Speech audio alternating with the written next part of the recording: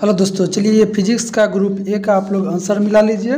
और एक नंबर का देखिए कह रहा है निर्वात का निर्वात का परावेतुतांक होता है। ऑप्शन नंबर ए हो जाएगा आपका। क्या हो जाएगा? एक का ए। ऑप्शन नंबर ए चलिए दो का देखिए, विद्युत द्विध्रुव का ऐसा मात्रक होता है, ये आपका ऑप्शन नंबर बी हो जाएगा किलोमीटर होता है। चलिए अब देखिए तीन नंबर का क्वेश्चन तीन नंबर का देखिए क्या है, कुलम नियम का सदिश रूप क्या होता है?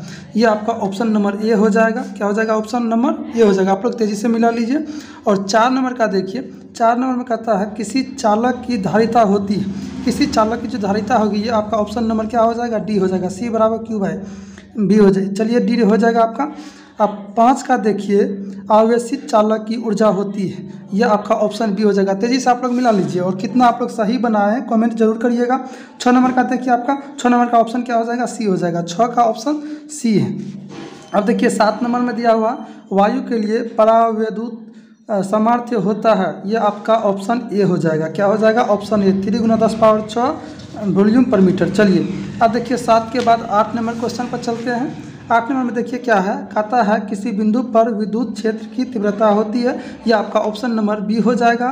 क्या हो जाएगा? ऑप्शन बी अब चलिए आठ के बाद नौ नंबर में, और आवेश का पृष्ठ घनत्व होता है, आपका ऑप्शन नंबर ए हो जाएगा। क्या हो जाएगा? ऑप्शन नंबर ए बिल्कुल सही है, और आप लोग कमेंट ज़रूर करिएगा कितना आप लोग का सही होता है। चलिए दस का देखिए गोलियस संधारित्र की धारिता होती है ऑप्शन नंबर ए हो जाएगा। क्या हो जाएगा? ऑप्शन नंबर ए अब दस के बाद चलते हैं ग्यारह नंबर में। ग्यारह नंबर में देखिए क्या है? म्यू वन म्यू टू के बराबर होता है। क्या हो जाएगा? ऑप्शन नंबर ए हो जाएगा। ग्यारह का ए अब देखिए बारह नंबर में, बारह नंबर में क्वेश्चन आपका है रेटिना पर बनने वाला प्रतिबिंब होता है। ऑप्शन नंबर बी हो जाएगा। वास्तविक और उल्टा होता है। तो आप लोग ज़रूर ध्यान दीजिएगा। अब देखिए बारह के बाद चलते हैं। तेरह नंबर में तेरह नंबर में क्या है?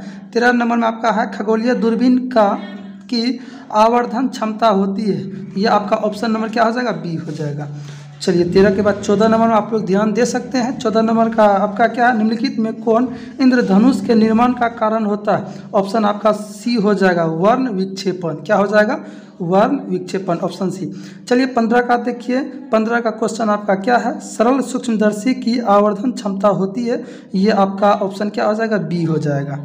चलिए पंद्रह देख लिए हैं। अब चलते हैं सोलह नंबर में। सोलह नंबर में आपका क्या है? संपर्कित दो लेंसों की शक्ति होती है। ऑप्शन नंबर ए हो जाएगा। क्या हो जाएगा? ऑप्शन नंबर ए चलिए सत्रह नंबर का क्वेश्चन आपका सत्रह नंबर का जो आंसर होगा वह क्या हो जाएगा? ऑप्शन सी हो जाएगा। चलिए आप लोग ध्यान से देख लीजिएगा। अब यहाँ पर है अठारह का। अठारह का क्या है? अठारह का आपका हो जाएगा बी नंबर क्वेश्चन आपका है, कांच के लिए क्रांति कौन होता है? तो क्या हो जाएगा? बयालीस डिग्री। चलिए अब जो है उन्नीस नंबर में, उन्नीस नंबर में देखिए क्वेश्चन आपका क्या है? तो आप लोग ध्यान दीजिएगा, विद्युत चुंबकीय तरंगों की प्रवृत्ति होती है, ये हो जाएगा अनुप्रस्थ। ऑप्शन नंबर ए उन्नीस का ऑप्शन नंबर ए बीस का देखिए, बीस का ऑप्शन आपका सी सही होगा। बीस का ऑप्शन क्या हो जाएगा? सी सही होगा। अब चलिए इक्कीस नंबर में। इक्कीस नंबर में देखिए, प्रकाशीय पद के बराबर होता है। ऑप्शन नंबर ए हो जाएगा। क्या हो जाएगा? ऑप्शन नंबर ए इक्कीस का ऑप्शन ए अब बाईस में देखिए, बाईस में क्या है? बाईस का आपका क्या है? फोर डायप्टर क्षमता वाले लेंस की फोकस दूरी होती है। ऑप्शन नंबर हो जाएगा ए ज़ीरो पॉइंट पच्चीस मीटर अब यहाँ तक आ गए हैं। अब देखिए, तेईस नंबर में, तेईस नंबर में आपका लिखा हुआ है, क्या है? निम्नलिखित में कौन वर्ण विक्षेपण क्षमता के लिए सही है? आपका ऑप्शन नंबर ए हो जाएगा। क्या हो जाएगा? तेईस का ऑप्शन ए चौबीस नंबर में देखिए, चौबीस का ऑप्शन आपका डी हो जाएगा। ध्यान दीजिए, चौबीस का ऑप्शन क्या हो जाएगा?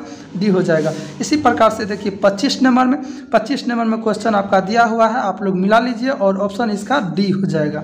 क्या हो जाएगा? ऑप्शन डी पच्चीस के बाद चलिए छब्बीस नंबर में आपका दिया हुआ क्वेश्चन क्या है? निम्नलिखित में कौन इलेक्ट्रॉन पर आवेश के लिए सही है? ये आपका क्या हो जाएगा? डी हो जाएगा। ऑप्शन डी अब देखिए सत्ताईस